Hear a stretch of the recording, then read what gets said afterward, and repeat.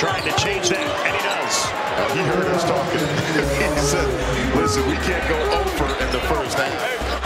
Xavier Johnson on the drive, looking to make something happen. Handoff Champagnie. Much needed hoop for the Panthers. Trying to bring the Oakland Zoo alive in this first half. They've been really quiet. Nothing to scream or shout about.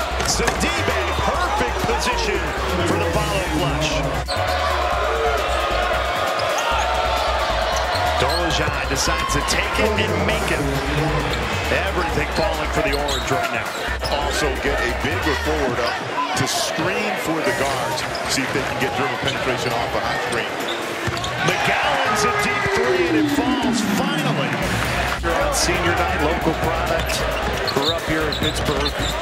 Fans trying to will that one in. Girard from deep. Nothing but the bottom of the net.